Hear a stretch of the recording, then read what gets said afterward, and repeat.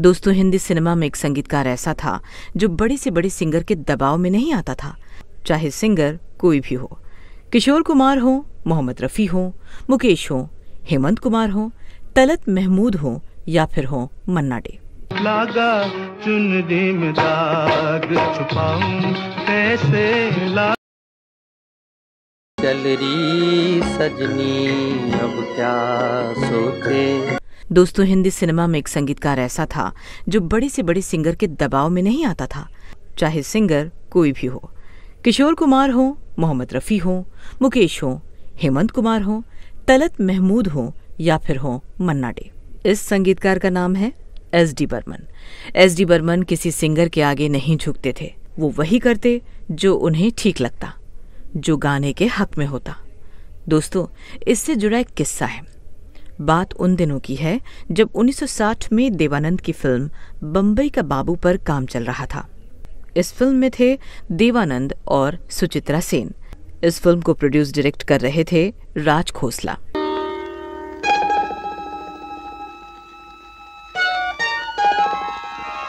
माया?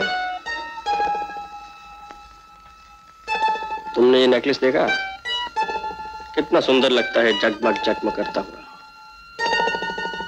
लेकिन इसकी असली सुंदरता तो उसी वक्त मालूम हो जब किसी के गले का हार बने।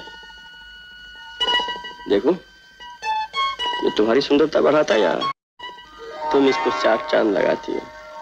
इस फ़िल्म में देवानंद के लिए गा रहे थे मोहम्मद रफी। साथी न कोई मंजिल दिया है न कोई महफिल। कहा जाता है कि जब संगीतकार एस डी बर्मन को लगता कि किशोर कुमार उनके पैमाने पर खरा नहीं उतर रहे हैं तो वो गायक किशोर कुमार से भी किनारा कर लेते। यही वजह है कि फ़िल्म बम्बई का बाबू में देवानंद के लिए उन्होंने चुना था मोहम्मद रफ़ी को। इस फ़िल्म में मोहम्मद रफ़ी के तीन बेहद खूबसूरत गाने थे।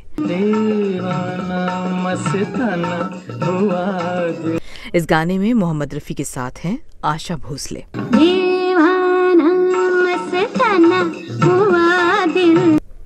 दोस्तों इस फ़िल्म में गाना ऐसा था जिसे बैकड्रॉप यानी बैकग्राउंड में बजना था।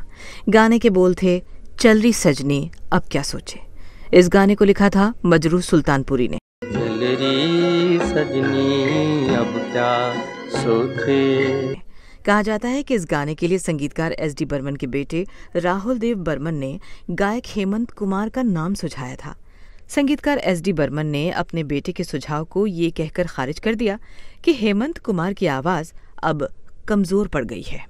याद किया दिल ने कहा हो तुम झूमती बहार है कहा हो तुम।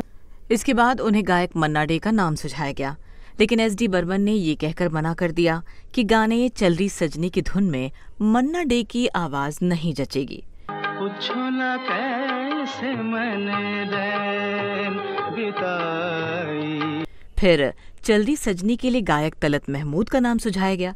तलत महमूद को एस डी बर्मन ने ये कहकर रिजेक्ट कर दिया कि उनकी आवाज़ में कंपन बहुत बढ़ गई है। ये हवा ये रात ये चांदनी कहा जाता है कि इस गाने में गायक किशोर कुमार फिट बैठते थे। लेकिन संगीतकार एस डी बर्मन को मालूम था कि चूँकि बम्बई का बाबू में देवानंद के लिए मोहम्मद रफ़ी गा रहे हैं, इसीलिए किशोर कुमार इस फ़िल्म के एक बैकड्रॉप यानी बैकग्राउंड वाले गाने को गाने के लिए तैयार नहीं होंगे। इसीलिए एस डी बर्मन ने किशोर कुमार से बात नहीं की। अब कौन बचा? आखिर चल रही सजनी के लिए गायक मुकेश के नाम पर चर्चा हुई।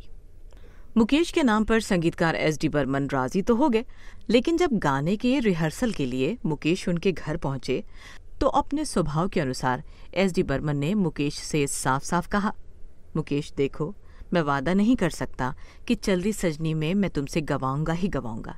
यदि रिहर्सल के आखिरी टेक के बाद मुझे लगा कि गाना ठीक नहीं हुआ है तो मुझे ये अधिकार होगा कि मैं तुम्हारा गाना नहीं रखूँ। एस डी बर्मन की इस बात पर मुकेश ने कहा, लेकिन दादा, ये अधिकार तो आपके पास हमेशा से है। मैं तो सिर्फ़ ये सोच रहा हूँ कि आपने मुझे बारह साल बाद एक बार फिर गाने के लिए बुलाया है।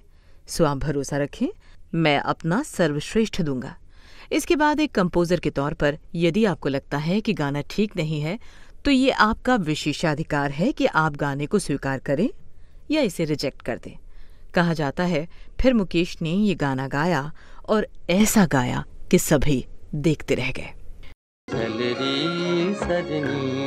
अब क्या सोचे इस एपिसोड में आज इतना ही।